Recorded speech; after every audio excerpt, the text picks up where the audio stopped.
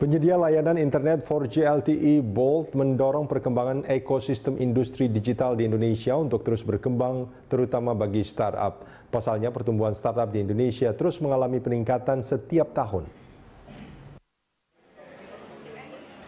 Dari fakta pertumbuhan startup, Bolt bekerja sama dengan Koran Tempo mengadakan acara Tempo Startup Dialogue Series bagi para startup pemula. Dalam forum yang bertema ide kreatif jadi startup tersebut, dialog membicarakan berbagai hal terkait penggunaan teknologi sebagai media untuk membangun komunitas, yaitu jaringan untuk merintis sebuah startup. Pada forum yang sama, para startup yang telah sukses membangun bisnis mereka memberikan tips serta motivasi kepada para startup pemula. Uh, sebetulnya kemajuan teknologi itu dibuat untuk membangun jaringan. Jadi kalau kita misalkan uh, kita punya uh, sekarang kan banyak sekali followers kayak gitu. Sebetulnya itulah resource yang bisa dikembangkan untuk kita menambah uh, uh, ruang atau komunitas untuk kita bisa berkolaborasi gitu. Ya, uh -uh. jadi maksudnya sebetulnya followers itu bisa digunakan untuk membangun jaringan gitu.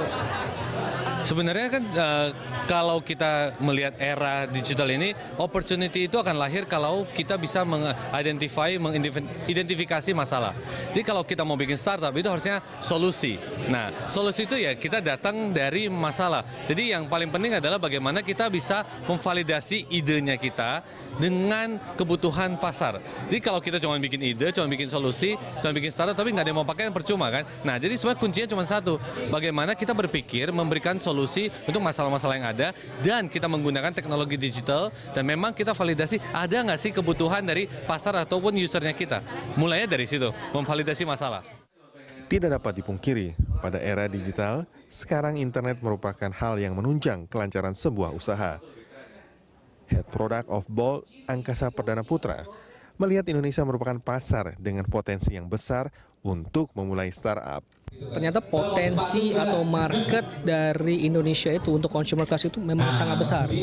Hingga tahun-tahun ke depan hingga tahun 2020 itu pertumbuhannya kurang lebih 4 sampai 5 juta orang masuk ke consumer class tiap tahun loh. Jadi ibarat kata tuh itu itu adalah grup konsumer yang membutuhkan apa uh, demand permintaan gitu ya.